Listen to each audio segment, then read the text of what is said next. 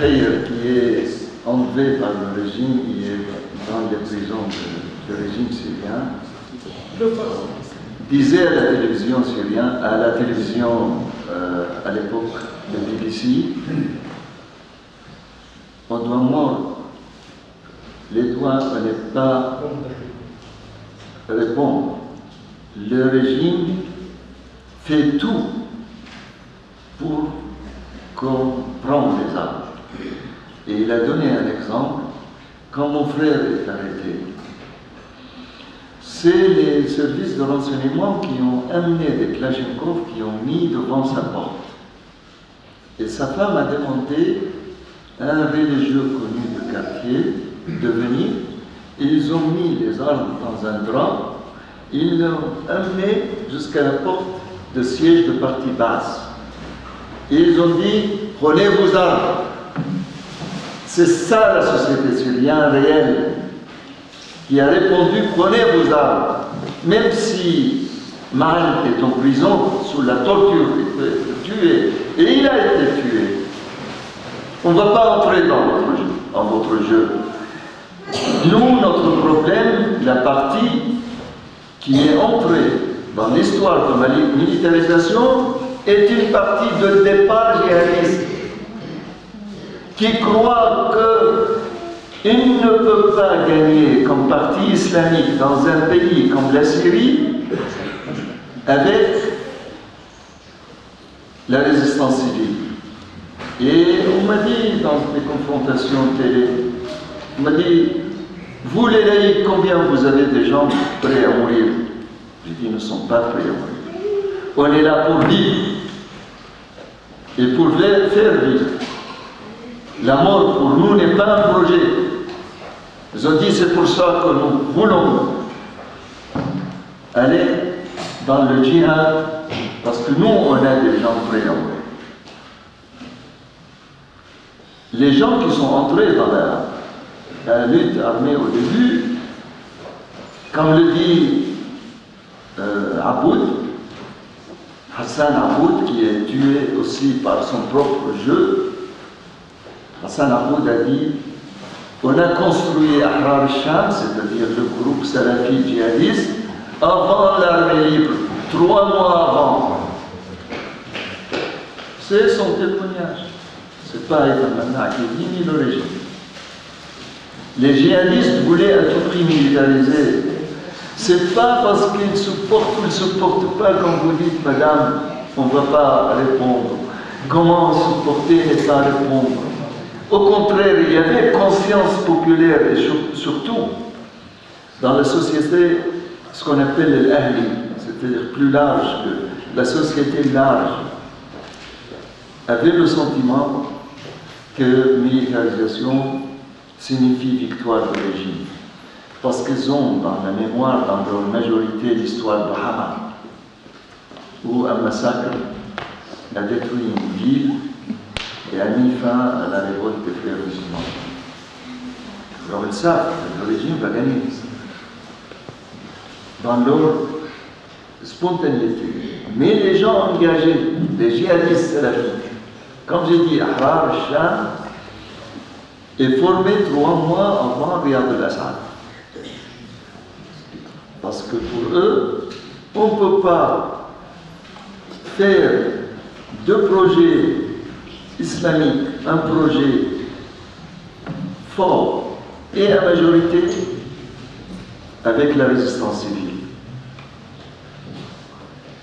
Ils nous accusent de lâches, des gens qui aiment bien vivre, n'ont pas envie de mourir, de sacrifier. On a sacrifié plus que. Mais ce n'est pas parce qu'on a envie de mourir.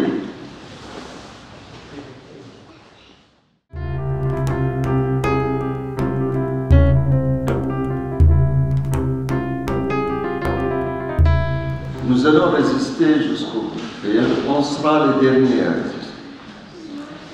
Ce n'est pas les, plus extrémistes qui résistent mieux. Parce qu'il y a un certain extrémiste qui parlait de deux mois et on finit avec Assad, qui sont maintenant dans les tombeaux, ou chez ou là-haut.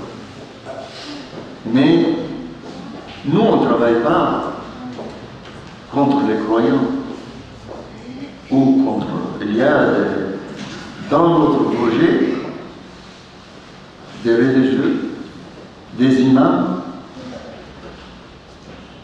des dignitaires chrétiens et druzes et alaouites. On ne travaille pas en tant que projet. La laïcité au sens français, il faut oublier, parce qu'il n'est pas respecté par les Français ailleurs. Non. Quand on dit laïque, on dit la vie concerne tous les citoyens syriens, sans distinction de confession ou de religion.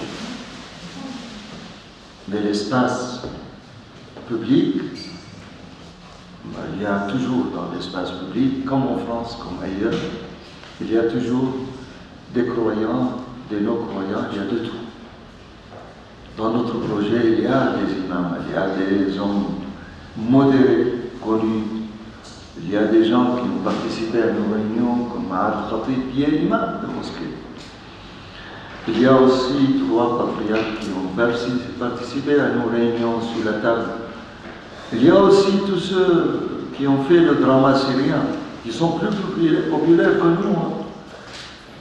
Haqi, ou Tefan, ou Sleman, ils sont très populaires en Syrie. Les gens un moment pour voir leur, euh, chef-d'œuvre. Alors on essaye de travailler de travailler avec des libéraux, avec des gens de gauche, avec des centristes, croyants ou non croyants. C'est pas ça. J'ai pas un projet laïque à imposer. On n'a jamais parlé de ça. On a un projet qui vraiment regroupe la plus, une bonne majorité des démocrates syriens, ou qui sont toujours convaincus qu'un État de droit est une bonne solution pour la Syrie. Et ça, ne vous inquiétez pas, il y a de tout dedans. Ce n'est pas un projet ni des gauchistes, ni des... Non, non, au contraire.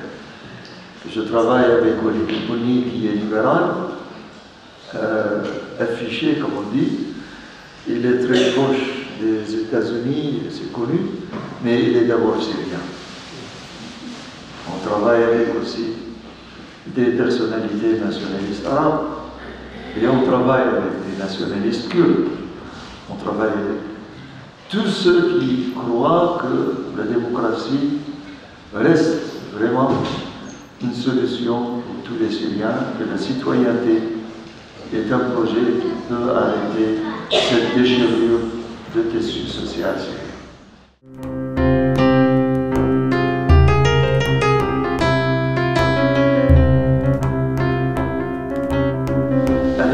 commence le travail de Satan. Alors, euh, le départ de Satan, on était avec euh, Lavrov et notre camarade Al-Dalila a dit si aujourd'hui l'armée libre entre dans le palais présidentiel, il a dit vous croyez qu'on va envoyer des hélicoptères pour le sauver? Si Lavrov dit ça, moi je, vais envoyer des hélicoptères pour le sauver. Son départ ou pas, à mon avis, est une sorte de question imposée aux Syriens par les frères musulmans et certaines unions néolibérales, on dit, ou néopolitiques, parce qu'ils venaient juste d'entrer dans la vie politique parmi eux des gens qui ont servi l'Assad et son père pendant plus de 30 ans. Le départ d'Assad comme condition, c'était, à mon avis, une des grandes erreurs de l'opposition syrienne. Parce que on ne peut pas mettre une condition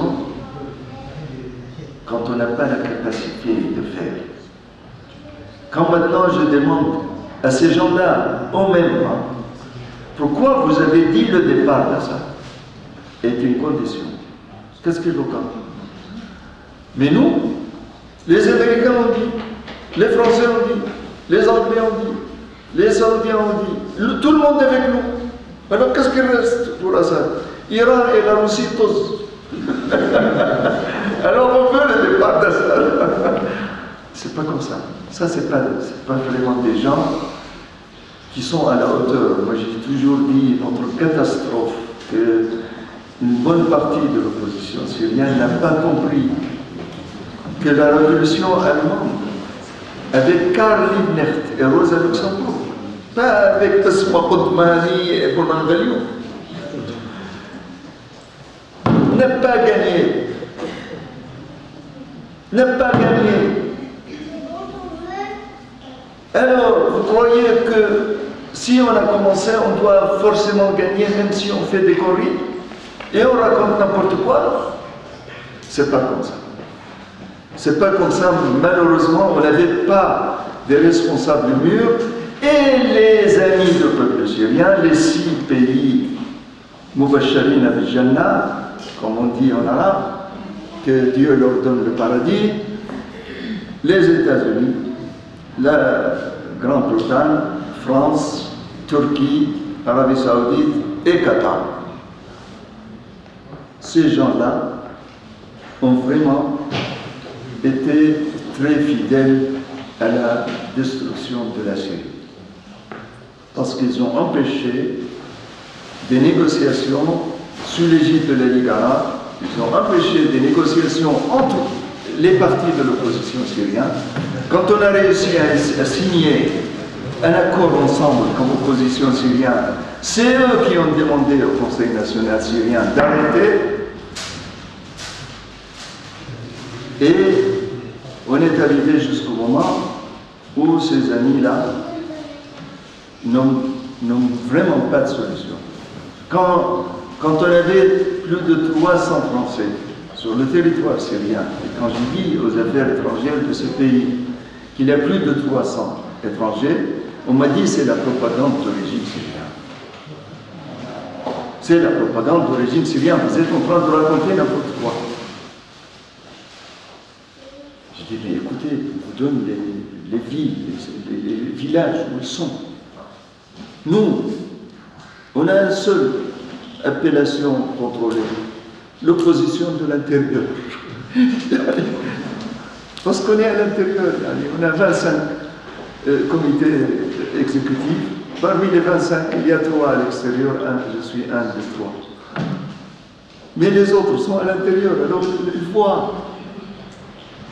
Ce pas des gens qui n'ont pas visité le pays depuis 40 ans qui maintenant.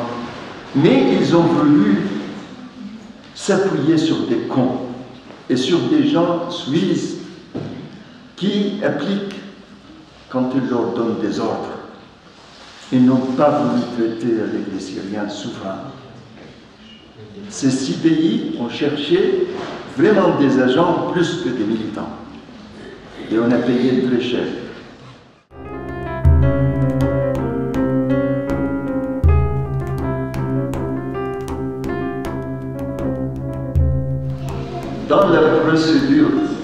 Nous sommes en, fait, en train de faire, il y a des Syriens qui disent c'est pas le moment de, discuter ça. Et moi, je tiens à ce que ces Syriens-là soient dans un congrès pour euh, national de la Syrie. C'est dans ce sens qu'on a adjourné tout ce qui est question régionale ou internationale dans la construction, parce que vraiment, c'est pas facile de construire Act 3, comme disaient les Américains, sans les Américains qui ont fait Acte 1 et 2, si on n'arrive pas vraiment à éliminer beaucoup de divergences entre nous comme Syriens. C'est dans ce sens-là que je dis, vraiment c'est pas bon. On doit d'abord tenir bon pour avoir une opposition indépendante et après, on peut négocier tout. Mais je vous donne le projet, une vingtaine de pages. Euh, vous allez dire, mais c'est très syrien.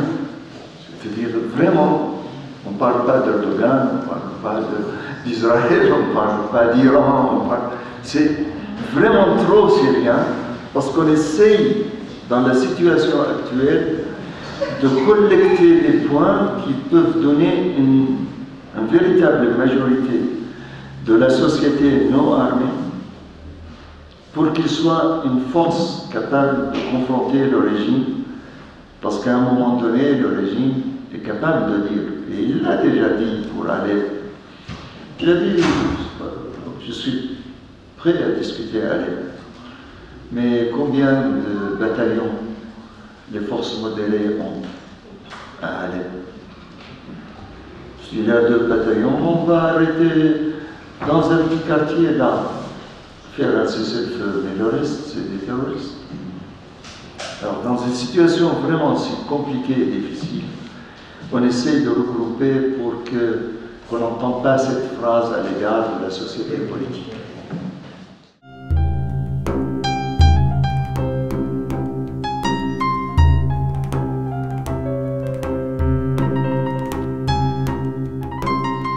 Je suis convaincu, et je ne suis pas le seul, il y a des amis à moi qui vivent jusqu'à maintenant à Jeddah et à Doha, qui disent la même chose, sans les nommer pour qu'ils ne soient pas arrêtés.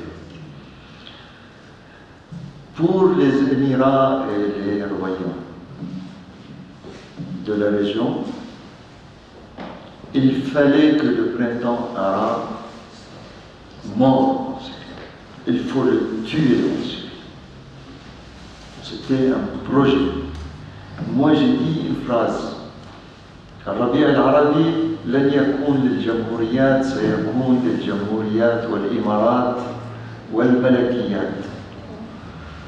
Le printemps arabe ne sera pas pour les républiques, il sera aussi pour les royaumes et pour les Émirats. C'était la dernière fois que je parle sur la télévision des pays de Golfe. Al Jazeera, c'est terminé. Al Arabiya, c'est terminé. Jusqu'à aujourd'hui, après cette phrase, Haïdamana est interdit. Blacklist. Il voulait tuer. Maintenant, un Saoudien a peur de l'exemple syrien. Il a peur de l'exemple syrien. Ils ont vraiment fait que on, on, utilise très peu le mot printemps arabe, et quand on dit printemps, on dit, on dit entre deux guillemets. Même les supporters utilisent avec prudence ce terme. Ils ont réussi dans ce sens leur complot.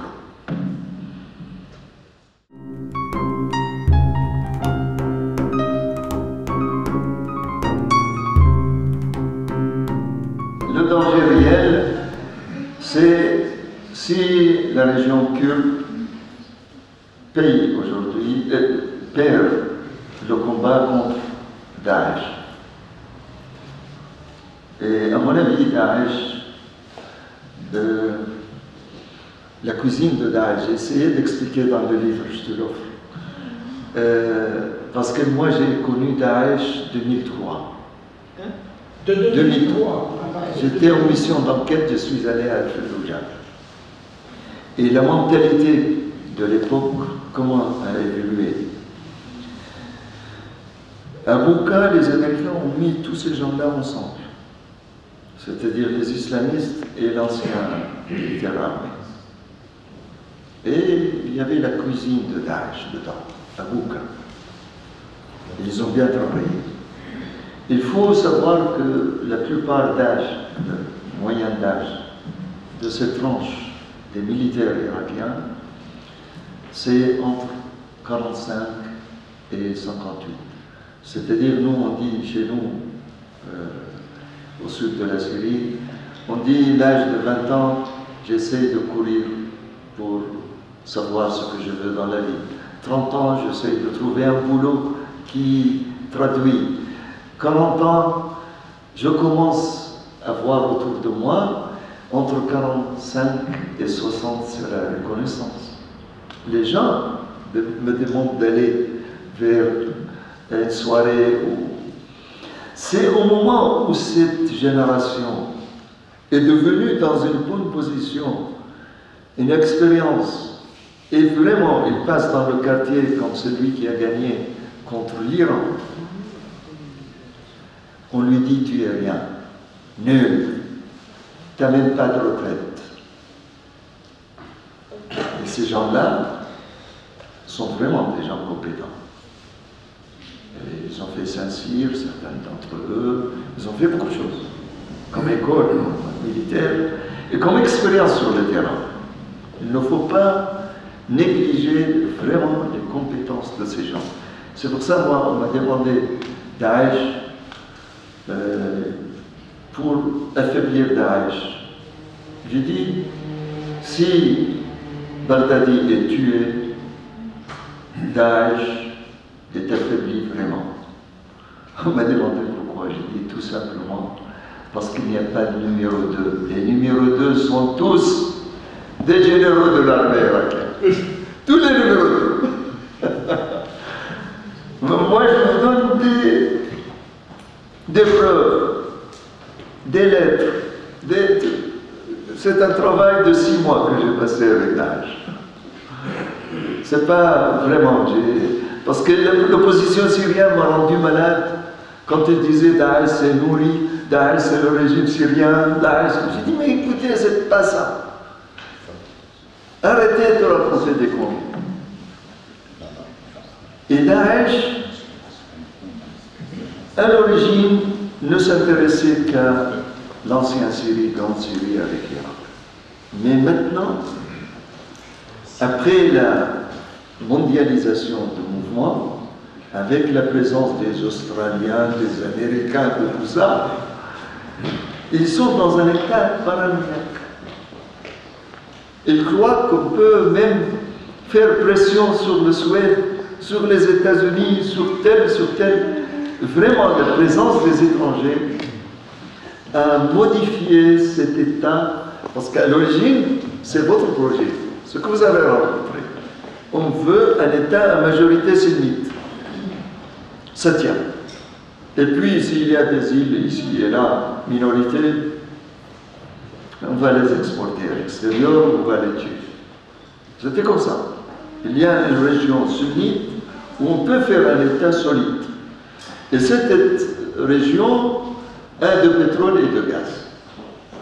Alors il ne sera pas un État C'est ça projet des, groupes euh, bassistes en leur coalition avec les djihadistes. Mais depuis qu'on a tous ces gens-là qui viennent de partout, ils croyaient vraiment qu'on peut être euh, vraiment. Un, militant anti-impérialiste m'a dit à Berlin, au Parlement, il m'a dit Mais c'est une force anti-impérialiste. C'est une autre forme d'impérialisme. Mais une forme produit sous-développée. La différence, ce n'est pas une forme produite dans un pays développé. C'est le produit de, de 40 ans de Saddam Hussein et de 40 ans de pour ça. Mais la mentalité maintenant, leurs discussions, les dissidents qu'on raconte, qu'on entend les témoignages, vraiment, ils croient vraiment qu'ils font peur à tout le monde et qu'ils sont capables de faire du mal à tout le monde.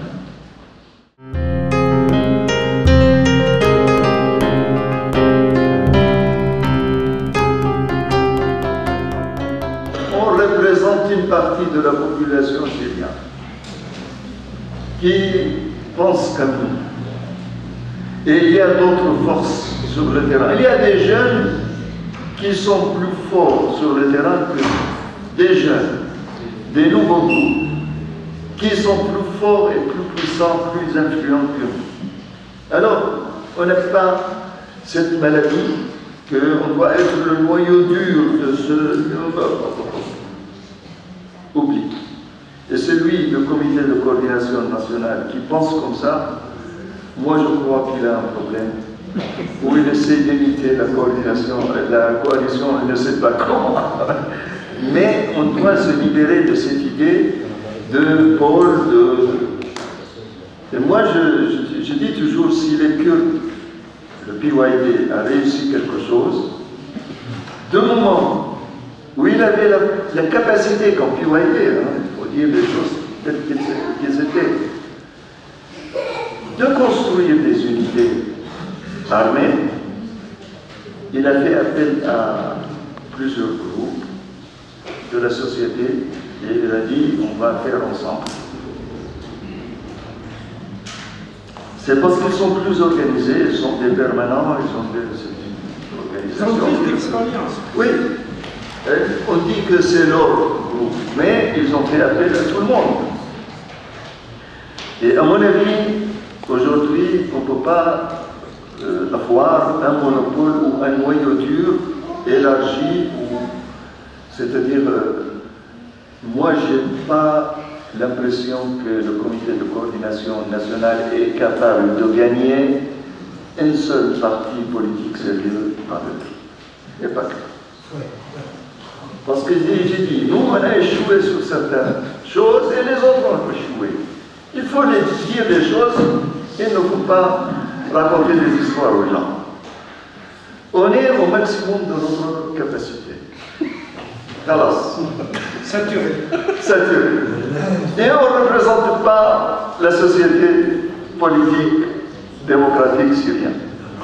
Il faut penser autrement il faut reconstruire avec les autres pour avoir une maison capable de faire vivre une bonne majorité, plus large, beaucoup plus large, de l'opposition syrienne de